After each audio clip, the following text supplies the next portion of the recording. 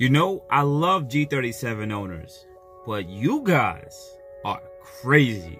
Guys, hit that intro. Welcome everybody back to Boost In Motion, guys. Good morning, good afternoon, and good night. Thank you.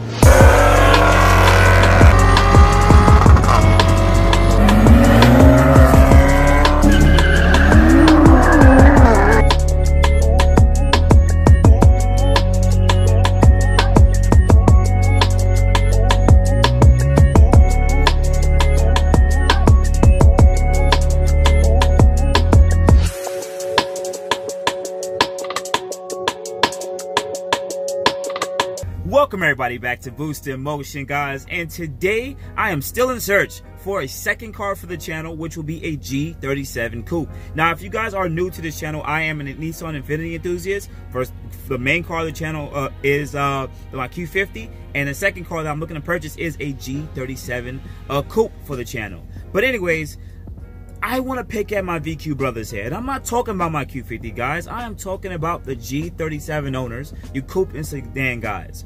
You guys are charging way too much for your G37s. Now, this is specific towards the region that you're in. Let me explain. I am based out of New York City.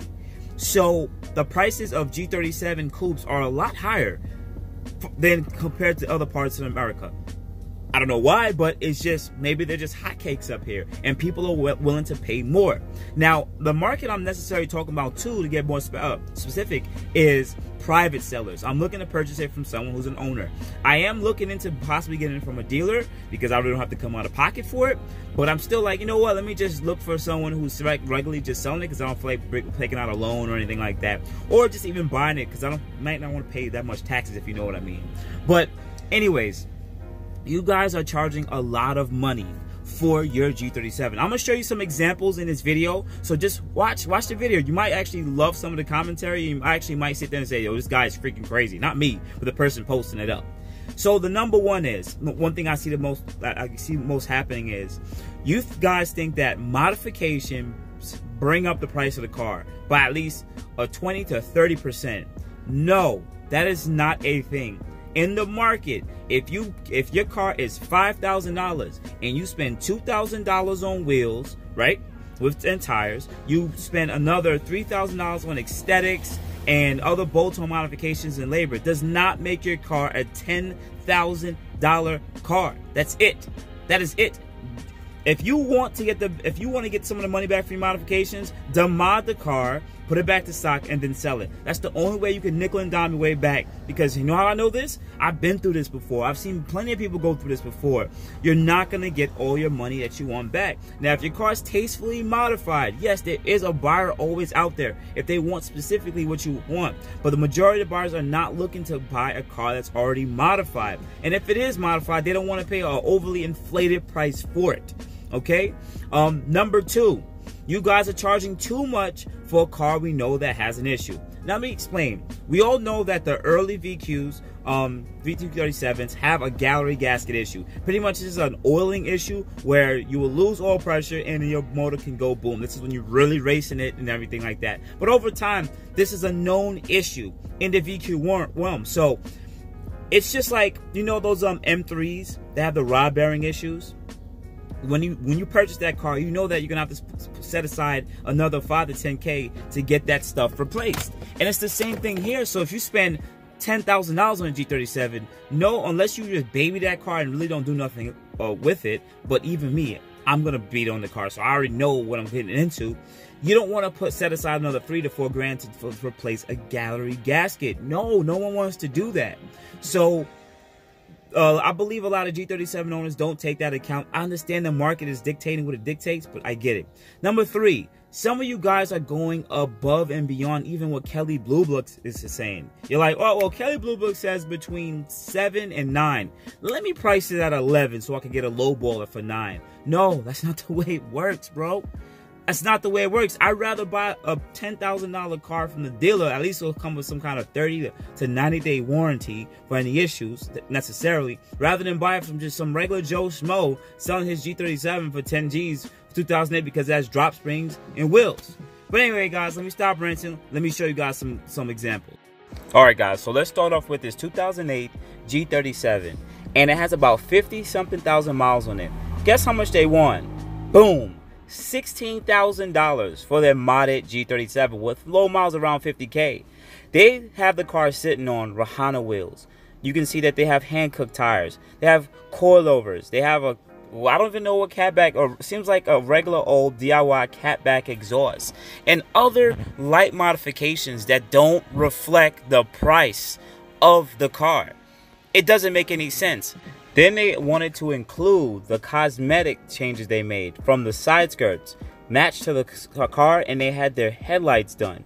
So this car is necessarily completely stock, guys. All coilovers and wheels and side skirts does not mean that this car is a fifteen to sixteen thousand dollar car. Yes, the mileage is low. I give him that, but that's the only thing that makes this car that more appealing. But it's still an early model VQ37 and it will have this issue. Now, I know that I'm picking on the prices of these people's cars, but hear me out. There's also a dealer equivalent. So that means that he wants about 15 to 16 grand for this car, but you can go to a dealer, get one that's stock with probably 2012, 2013, with the same trim, a lot less miles for the same price, and have the security of buying from a dealership rather than just buying from an owner that inflated the price because of parts. Now, understand in this video, there will be cars I'm talking about their price, their prices, but there will always be a dealer equivalent. What I'm trying to say is that private sellers sellers usually are cheaper than the dealers and i'm finding out that they're either marking their price at the same amount as the, as the dealers charge or even higher so guys let's move forward to the second example and that brings us to number two, a 2010 G37 with right around 125,000 miles. Now he wants 10.5 for it, which I think is a fair price because it is about two years newer, so that makes sense. The market's gonna dictate it to be a little bit more expensive. But even with the little Kelley Blue Books um, excerpt there, this car is supposed to range right around between 7 and 10.5. He put it more on the high end. Okay, it's fine. If someone talks him down, someone talks him down. But guys, remember, the 2008 to like 2012 2013 is it's all the same car. They're pretty much the same trim but the gallery gasket issue is still here. And i'm like this is a $10000 car that he want he wants to get $10000 for this with a higher mileage 120 something miles higher mileage and you will still run into a gallery gasket issue. So this one is still turning me off. I understand I'm trying to get so much for a cheap price because the market is dictating this. But guys, you can't get mad at me for just being upset. Like no one wants to spend 10 G's on a stock car that's not a, you know, it's not like it's an M3. It's, it's a G37. Come on. anyways, let's talk some more. Well, you guys are gonna say I'm still being cheap.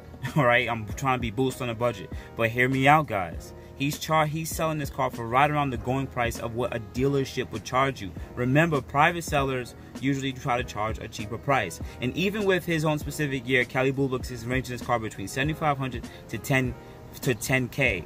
Usually, when it's on the higher end of that spectrum, the mileage is super low. I don't mean 20, 30,000 miles, but it's usually super low. Yes, 120,000 miles is a lot, but if you divide that between the last 10 years, um, that's right around what 10 uh, what was that, about 10, 10 12 a year, or 10 2, whatever it is, right over 10,000 miles a year, and that's actually not bad for a car. That's actually regular daily commuting.